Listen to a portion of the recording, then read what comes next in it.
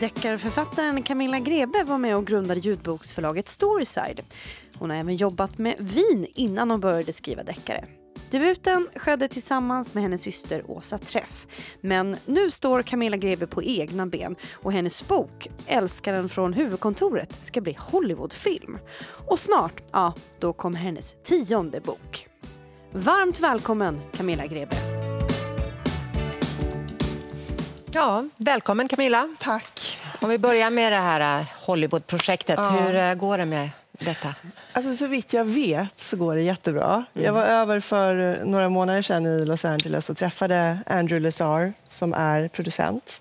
Och, eh, de har ett manus de är ganska nöjda med. Nu håller de på att knyta en eh regissör till projektet och titta på vilka skådespelare som, som ska vara med. Det är en sån jätteprocess. Man ja. hör ibland de som säljer rättigheterna. Ja. Sen kan det ta tid och ta tid och ta tid. Och rätt vad det är så kan det bara säga boom. Ja. Eller så gör det ju inte det. Och det är det som är lite läskigt. Men det är ändå väldigt kul. Jag försökte anta en positiv hållning. Ja. hur gjorde du? Liksom? Hur, hur hamnade din bok i Hollywood? Ja, det är ju så här om man skriver. Eh, att man ofta har en agent och de jobbar med andra agenter utomlands. Och det var en av dem som eh, satte mitt manus i händerna på Andrew Lazar innan den var långt innan den var utgiven i USA faktiskt.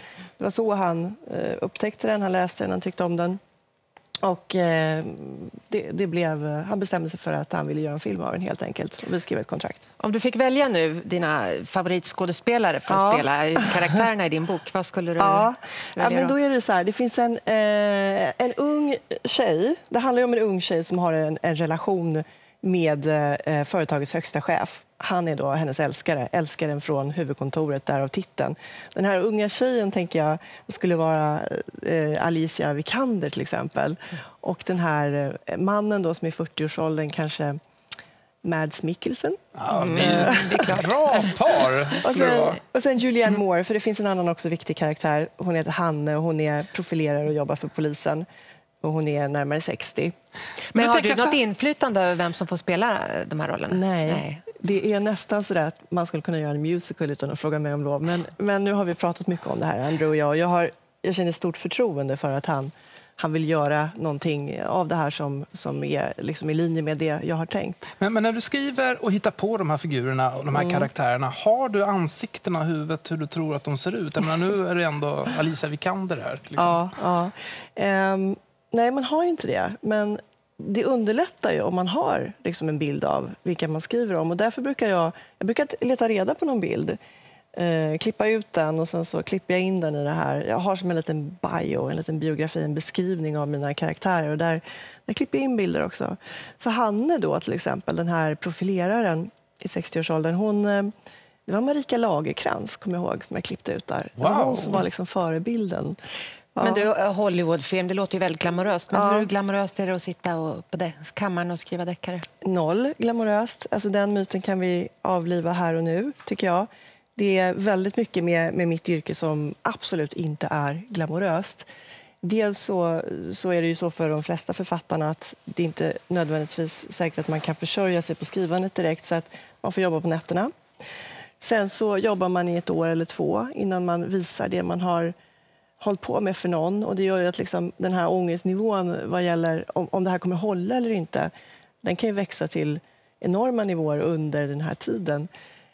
Sen ska du ut och marknadsföra din bok. Om du är ny då och oetablerad, då är inte det särskilt glamoröst heller. Jag vet inte hur många gånger som jag har varit ute och ska hålla föredrag och det kommer kanske fem personer eller eh, man är ute och ska signera böcker i något så här köpcentrum. Och... Det är en lång väg innan man sitter i soffan ja, här menar ja, du? Det är...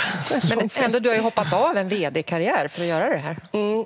Åh, det är helt värt det. Men jag har gjort det för att jag älskar det jag gör. Jag älskar att skriva och jag tror att man måste älska hantverket för att, eh, för att göra det. För det är väldigt mycket runt omkring som inte är jättespännande eller inte är glamoröst eller sådär. Som vad då till exempel? Ja, men som det här jag sa då, att man, man sitter där och det, det kommer ingen och man ska signera böcker. Att det, du aldrig vet om du har pengar nästa månad, nästa år. Um, du måste jobba liksom, eh, när alla andra är lediga på helgen eller på kvällen eller tidigt på morgonen. Men när Hollywoodplanerna då, innebär ja. det att det blir klirr i kassan redan nu? Eller är det först när det blir en film som du kommer tjäna pengar? Det är när och om det blir en film som Mm. man får ersättning för det då. Så det är mest en massa jobb nu där. Eh, ja, fast inte för mig, utan mer för de som jobbar med själva projektet. Ska vi prata lite om din nya bok, Husdjuret, Mm. Ja. eh, som kommer snart. Precis. Ehm. Kommer i, eh, eh, ja, om eh, en och en halv månad ungefär. Det är en deckare.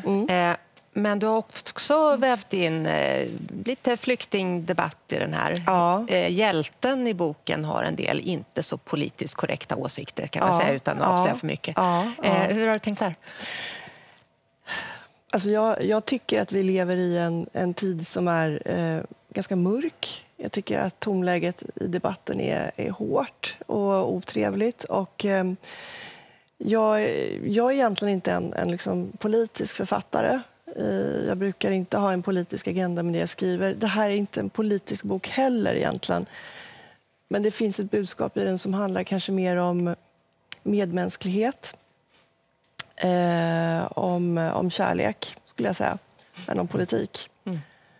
Den är faktiskt väldigt spännande måste jag Mm. säga som har läst den. Men, eh, men det är- som slår mig är att du beskriver en liten bruksort i Mm. Mellansverige. Och det är en väldigt mörk beskrivning. Det liknar Mm. lite så här USA, white trash i Kentucky, lite förfall. Ja. Eh. Den lilla orten Ormberg, och då, Ormberg finns ju inte på riktigt. Och just av det skälet som du säger här, att det, beskrivningen är ganska mörk. Så jag vill liksom inte peka ut något specifikt ställe, utan det, det är ett samhälle som jag har hittat på i husdjuret.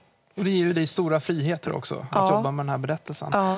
Vad roligt det var att få, träffa dig här. Vad kul att vara här. Ja. Tack för att du Tack kom för hit. att- Ja, Ja, ha en underbar eh, sommar nu. Jag vet en till som ska ha en eh, underbar Ja, sommar. jag måste faktiskt tacka för mig för att eh, det här, nu går jag på semester igen. Så att, eh, men du fortsätter, så vad har ni imorgon?